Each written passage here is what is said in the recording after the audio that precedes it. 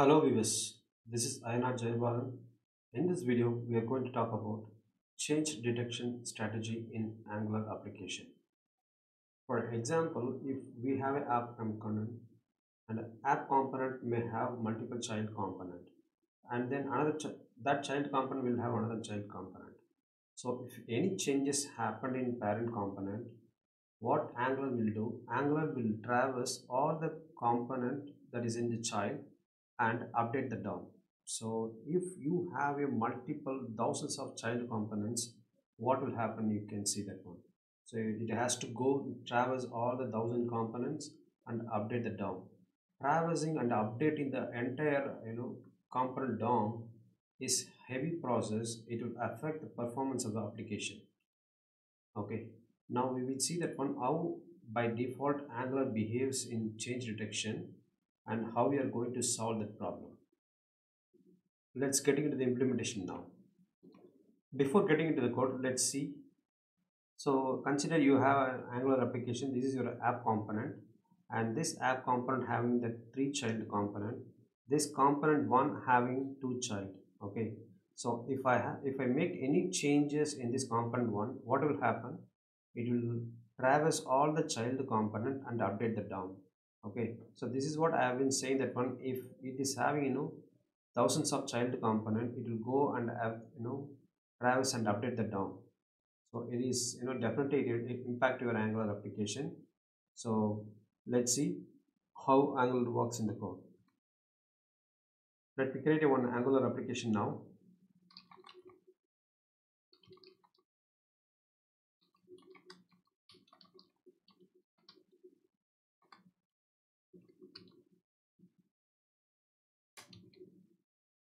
I'm just routing true and uh, by default style mode is CSS mode.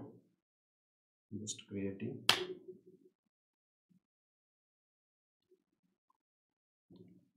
Now application is created. Let's get into the code now.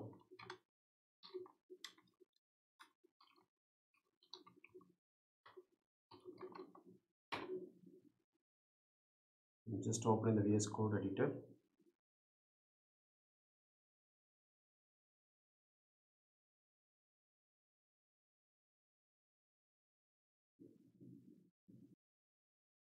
Let me open the terminal.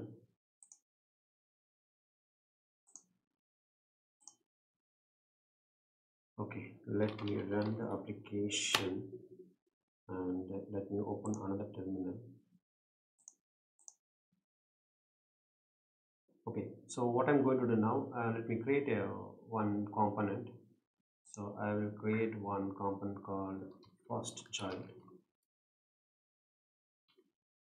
ng generation c component first child.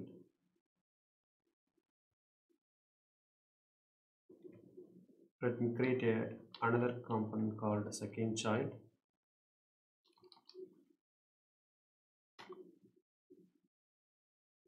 Two child component is created.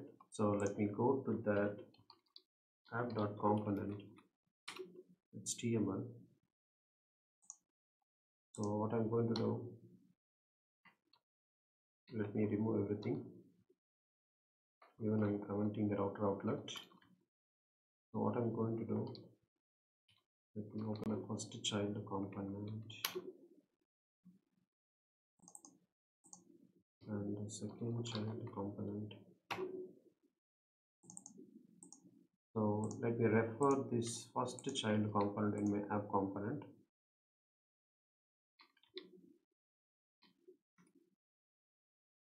okay and inside the first child component let me refer the second child component.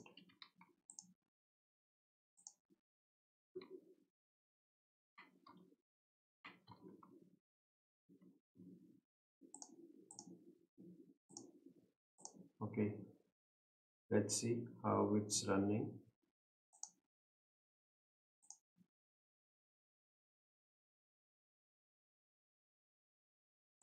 okay. It's loading both first child and second child right now.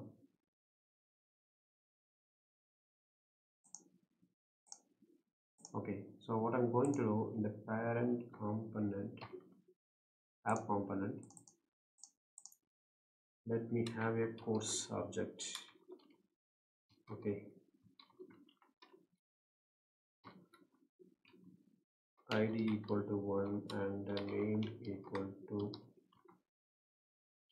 angular.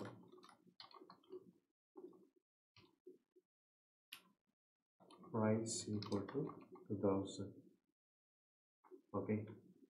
I'm going to pass this to first child component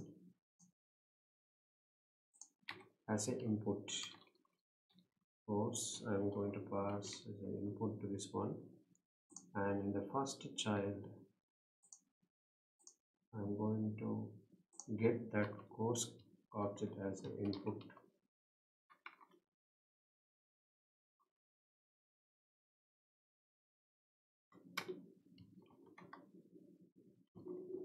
Course getting and let me display this course one in the here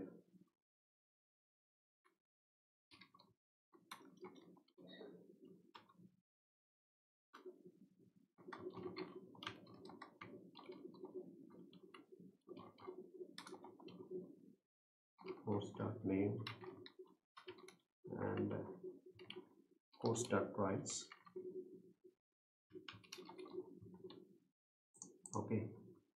So let's see how it's displaying right now.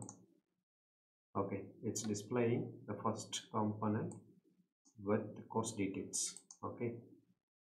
Now let me create a one button in the app component. Change course name. Okay and uh, in the click event i'm going to call one function called change course name. So i'm going to here i'm going to create a function the component ts file what i'm going to do here i'm going to change my course name equal to .NET.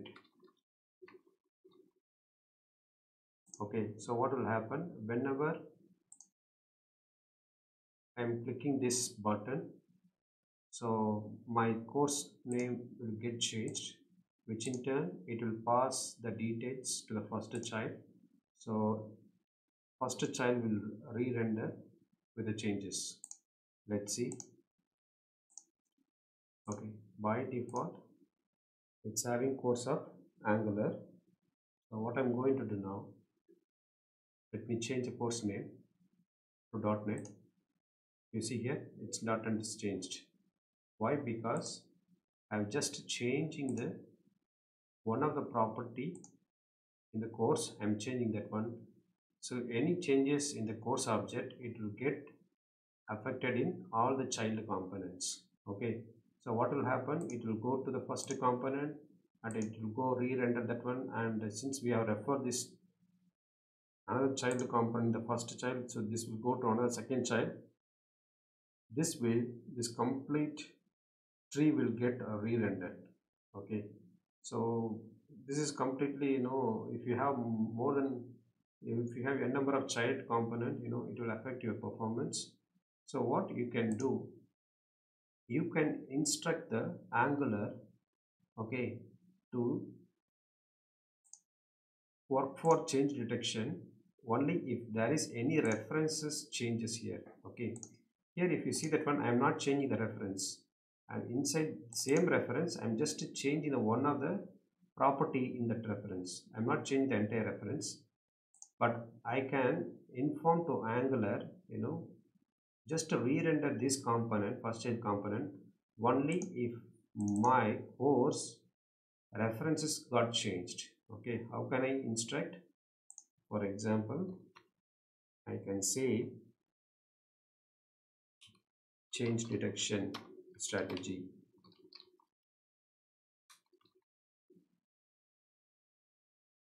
strategy dot on push by default it's a default is a one. On push is a one. It will we are that, that we are instructing the angular you know. So to detect only if there is any changes in the reference. Okay let's see. Now i'm going to run the application again. Now i'm change the course name. If you see that one it won't reflect here because i am changing the only the name not the complete reference of you know course object. Okay? Since i'm not changing the reference it won't change here. Okay? So in that way you know the um, you will have better performance. Can but if you want to make a change okay through reference change how can you do that one? If you go to the first component instead of changing the name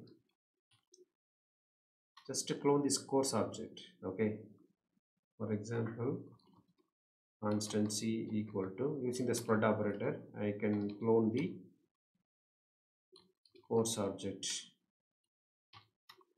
I'm just having name change to react okay? And then this dot course equal to c. If you see that one i'm just assigning the different references to this course okay? Since i'm assigning the different reference that angular will see here if references got changed here. If it is reference got changed it will re-render this component okay? Let's see how it works now. Here i'm going to change now change the reference excellent. Now if you see that one it's got changed since we are changing the reference of the course object okay. We can further improve the performance of the angular application by means of observables. Okay. Let's see. In first child component. I am just making this as a observable. Okay i'm just changing to observable course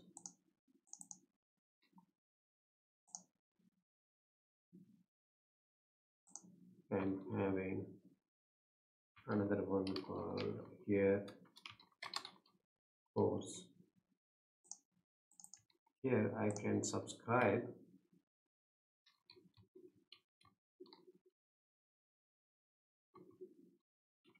subscribe to this observable.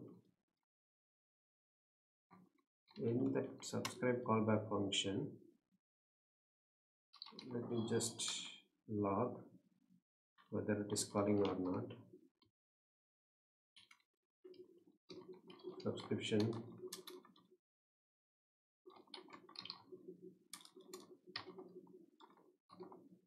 Subscription call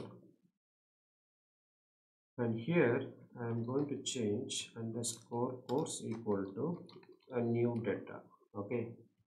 So here instead of here in the first child I'm going to use course okay?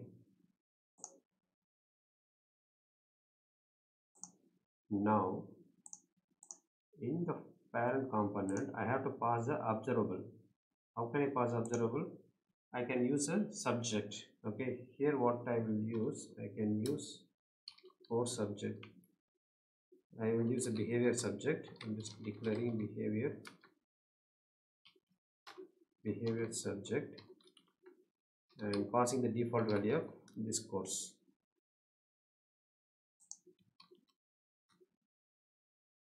Okay. I'm passing so what I'm going to do here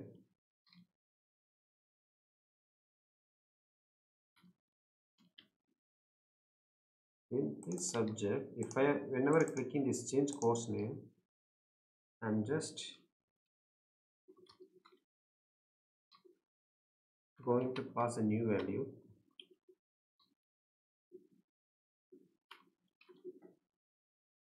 Here I'm not changing the reference I'm just changing the object name I'm just passing the new that object.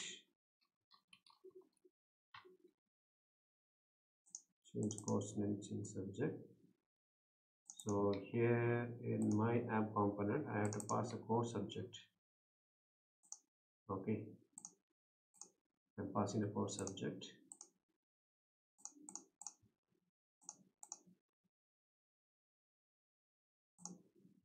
So let me run the application now by default it's showing us angular. Let me change to subscription called okay. So i am passing the value new value to the subject observable but it is not affecting but it is not affecting. Why? Since here if you see that one we are just you know updating the data okay? We are not informing to the angular please you know it's this got this component got dirty. Please you know re-render this component. How can you say that we can say using the change detection reference? So let me inject that change detector reference. To that i can say okay mark for check okay if i'm saying mark for check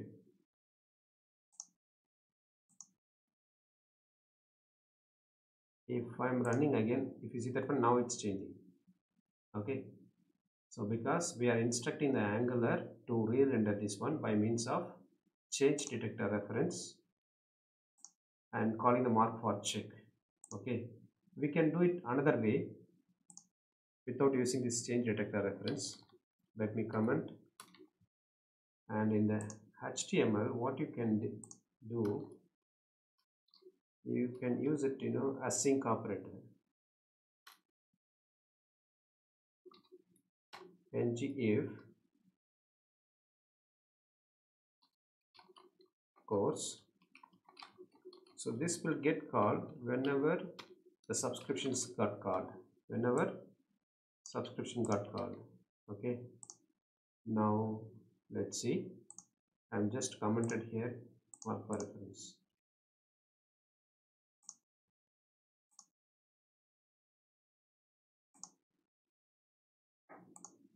let me change here.